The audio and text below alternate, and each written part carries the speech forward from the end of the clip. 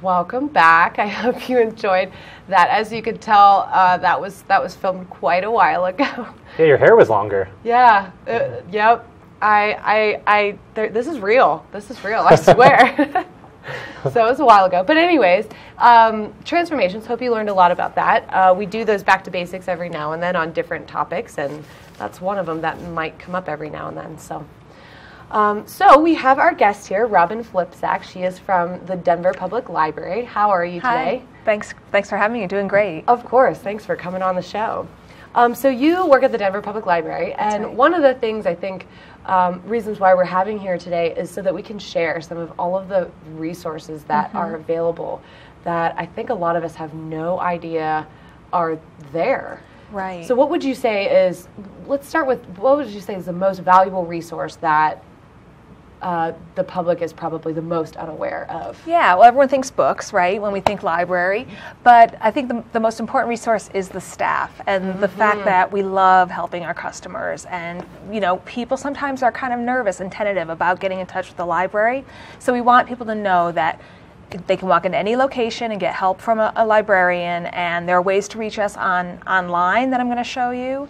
Um, you know, there are a lot of resources that are available to you through our website. You don't even have to go to a library Ooh. to get to the library. So do you have to be a member to access those resources on the web? It's a great question. Um, there are we, we give cards out to anyone who can prove Colorado address, so you don't have to be a Denver resident in order to get a library card. Uh, there's a quick way to, to sign up online, and I'll show you that. And also, Oh, you can get a library card online? you can get a temporary card that'll get you Oh. access to all of our digital resources immediately. And then students should know that if they have a valid My Denver card, that card functions as a library card. So they Oh. can do all of the things that they would do with a regular library card with their valid My Denver card. So they might even not even know that they have access to all of these Absolutely, that's resources right. already. They don't even have to do Yeah, anything. that's right. Yeah. So what are the resources that you can access online? Um, Yeah. I, well, today I want to show you a couple web. things. One, I want to show you one of our databases, one of our research databases. We have a lot of them, but uh, I'm just going to show you one really easy one that I think will be really helpful to students. Two, a lot of people don't realize this, you can access a librarian online 24 hours a day. And so when you're when it's 10 at night and you're in your pajamas and the assignment's due tomorrow, there's a librarian that can help you online. So I want to demonstrate that chat as well. oh, that is so cool. And then uh, the, um, I want to show you some power searching tips in Google because people think, well, we don't need libraries anymore. We've got Google. But you know, the fact that I have a master's degree in information, library and information science means that I'm really good at searching. So I have some things I think we can demonstrate to show you know students how you can really leverage the power of Google. oh, I'm going to use these tips too. So Great. awesome. Okay, so do you want to show us? Um, our, can we go to the computer screen right now? And Yeah, do you want to show us some of those things? Terrific. Okay. So here I am on the library homepage. This is denverlibrary.org. Okay, this is where you want to start. Lots of things you can get at from right from the homepage. One, get a card. That's the first thing I want to point out. If you go in here, you can register for your temporary library card right on, right away online. I said you could also use your, your current card or your Denver card, but that's how you would access that. Two, I work at the Central Library. I'm a reference librarian down there. I don't want students to think that you have to come to reference and get, get help from a reference librarian. The expectation should be that you can go into any of our locations and get help. So, right here on the side, all of our locations are listed with their hours. And then, if you're not really sure what location is near you, you can go to the All Locations map and find out and get some help that way, okay? Um, so let me take you to the teen site. If you scroll down just a little bit, right here, teens, that's going to get you to some sort of age specific resources. So right away here, you can search the catalog.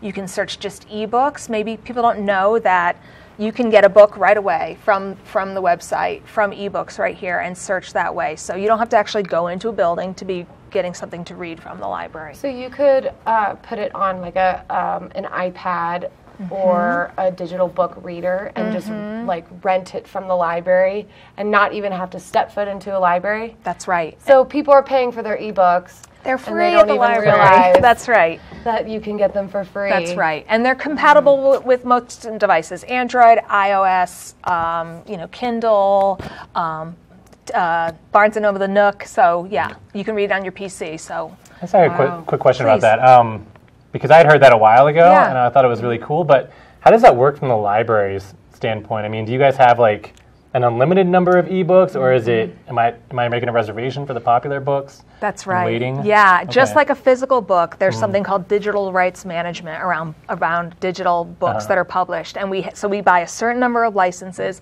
and we can lend out that number of books at one time. Yeah, so that's why people say, why is that? Why can't I just get this book right now? It's, Yeah. it's digital. 'Cause There's there's some licensing. They would never sell any ebooks. That's right. That's right. How many Yeah. digital licenses would you buy for a given book? Boy, that's it. Depends on the popularity Sure. of the book. Yeah, if it's if it's something that's a bestseller, we're going to get more. Mm-hmm. If it's something that's a little more esoteric or niche, you know, there'll be fewer licenses. makes sense. But we're kind of always watching that ratio of how many people need to how many we have. Gotcha. Mhm. So, okay, so let's let's take a look at this homework tab here.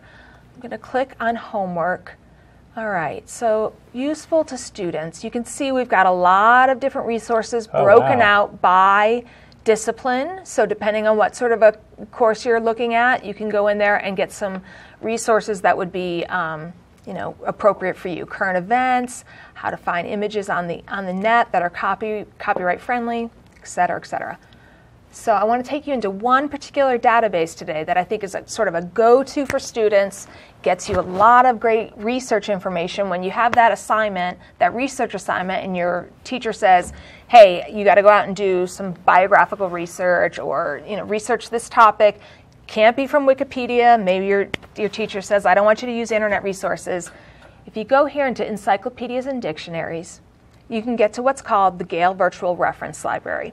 Now, this is a database that um, DPS does not own, so you have to, you could come with your library card and get access to this through our website.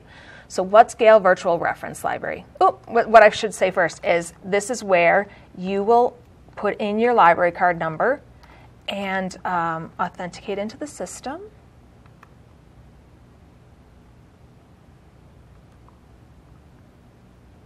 Okay, so I'm in.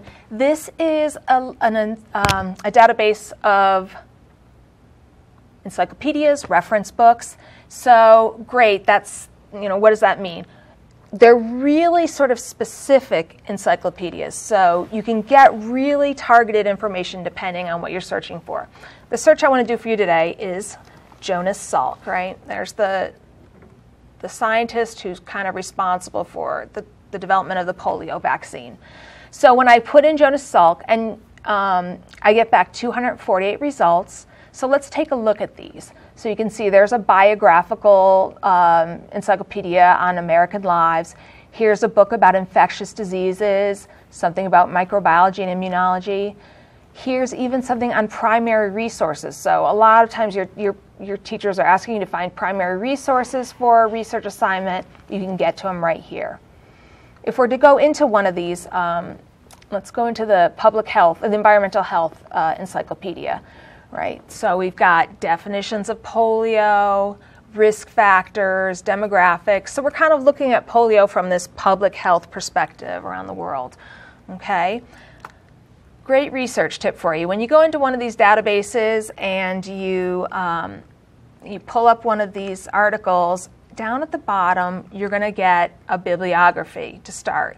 And you can do a, what this kind of a pro tip. Librarians call it chaining. When you find a research uh, resource that's really great for you, look and find out what that author used to get to, to get to their research, and you can chain to those resources and fill out your sort of portfolio of the resources you're you're going to work with.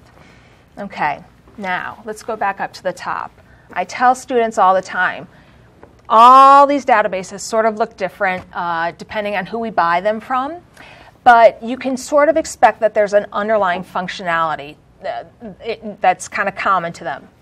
For instance, you should expect that you can email this article to yourself. You can download it. If I click on download, look, I can save it straight to Google Drive. I know a lot of you and your teachers are using Google Classroom, so you can sign in right here and push these resources to your teacher. Your teacher can log in and push these resources to you. Um, another great thing that is such a time saver, whether it's called Cite It Now or Citation Tools, etc., when you click here, Oh my god. I know. That's my favorite. That's what I hated the most. That was You know. my least favorite part. Going back and being like, no, I have to make a bibliography. Oh. Right. So yeah, so you can That's see different citation styles. So it's just a simple copy paste into your bibliography at that point. Oh my gosh. Right? It's terrific. That is really great. Yeah. This is so much more efficient. I remember uh, when I had to do research papers in middle school and having to go through like who has the M through N encyclopedia Right. and Right. then having to like photocopy it Yes. and like copy everything down by mm-hmm. hand. Mm-hmm. I mean, it's yeah, kind and of then take out your you can- citation book and figure out Right. yes. So a lot it does a lot of the work for you and it sort of accumulates really good authoritative resources, the kind that your teachers are hoping that you're gonna you're gonna find. Okay. So notice up here in the corner this ask us chat, okay? Mm. So if I click there, I want to I'm gonna just show you this for one second. It's going to pull up a little widget and this is an opportunity for me to let's will it load? Well, okay. Let me let me do this. You can get in touch with a librarian 24 hours a day from this widget. In theory, it should work when you're in the database, but I want to show you at a higher level where this sits um, on the site. Okay, so if you're on the teen site and you go into homework, there, there's an opportunity to chat. If you go to our homepage, oh, I've got it up. you got it up. Okay. Ask us. You can get to it right from the homepage.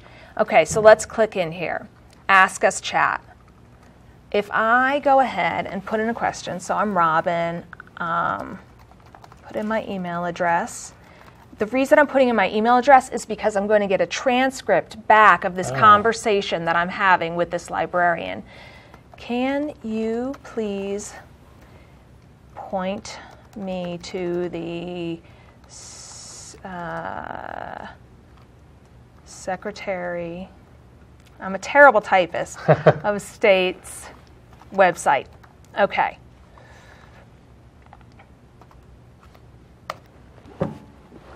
And then connect. Okay, I'm going to connect with the librarian right now. So, what kind of questions can you ask on the chat? They can be deep level research questions. Hey, I'm working on a National History Day project and I need some primary sources. Um, in terms of math questions, like we're we definitely get those sort of copy and pasted questions from your homework assignment.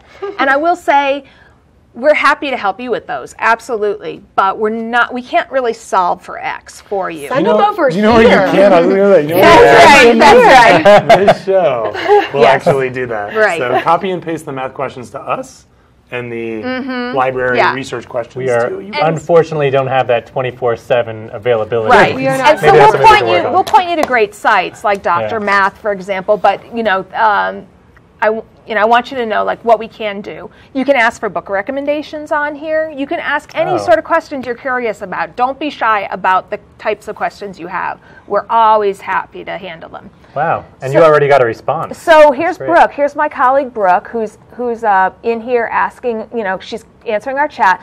Would you like the Colorado Secretary of State of, or the U.S.? Now this is great. This is a librarian doing what's called clarifying the question. Because I asked a question and she's not making any, any assumptions about what I want. She wants to make sure I get exactly what I want. So I was, I'm thinking, I want to tell her, um, U.S. Secretary of State, because really what I want to get at is, um, you know, the U.S. John Kerry and the oh my gosh, state please. Okay. So she'll return an answer to me. Um, remember, I gave my my uh, email address, so all of this conversation is going to be emailed to me after we're done.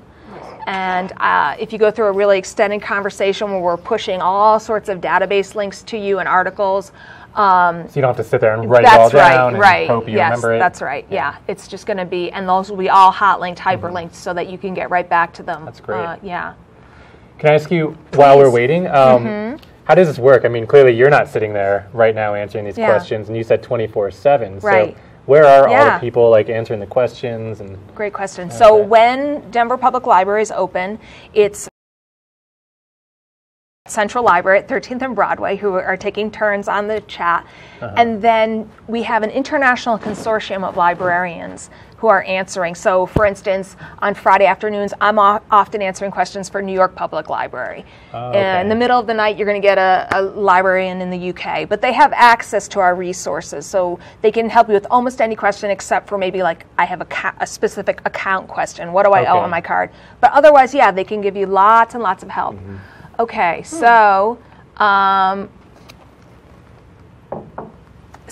typically these are hyperlinked, so I could just simply click and it would open up a new tab. But there you go. So I got Wow. what I wanted. Nice. And then I use my super polite manners because this is an actual live person. Explore the help. Don't worry about the typing. I don't.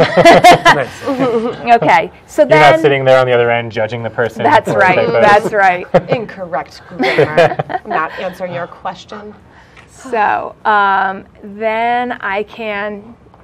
Brooke is still typing to say thanks to me, but, but I'll exit out. Is there anything else that can help you with? Nope. This was great. And for this one, do you have to be um, a Denver Public Library card holder for this one? You know, no? you don't. We don't ask people to authenticate when they come Oh, in here. Yeah, so anyone in Oh. theory, we, we get questions from a lot of different people. It's you a know. free service to the public. Yeah, you know, Yeah. uh, Denver Public Library is great about reducing obstacles and barriers for people. It's really important to us. So, all right, I'm going to exit the chat now. There's there's a copy of the transcript that's going to be sent to me, and here's the opportunity for me to send in a survey and tell them how great Brooke was. So. Now I would like to show you some Google power searching tips. Like I said, librarians are really good at the Google. Um, so here's the example that I've been using this year. Let's assume we're doing some sort of research on Syrian, the Syrian refugee crisis. Okay, so let's just type that in to our Google search. Okay. Now look at that. I get 19 million results. That's an awful lot of results. So what can I do to make those more precise, maybe make them more authoritative so they're good for as a research, you know, a research tool? And my understanding, if you just type in Syrian refugee crisis from the way Google works, is they're going to pick the most popular ones and the ones that are linked a lot. So Mm-hmm. if you're looking for more academic, it might not be the first one that pops That's up. That's right. How do we get there? Yeah. Let's let's figure it out. So the first tip I have, if you put something in quotations in Google and then you search, right? I've gone from 19 million results to 66 100 60 uh, 600 I'm sitting around all the math teachers. uh, close to 700,000 results what I did was put those quotation marks in, and what I told Google was I'm only interested in results where that phrase Syrian refugee crisis exists in, on the page. I don't care if Syria refugee crisis are in three different mm-hmm. places, it has to be that exact phrase. So that's a way to make your results perhaps more precise. The next thing you can do, if you add in a site colon gov, so site like website colon gov, I'm telling Google that I want it to return just results from government websites.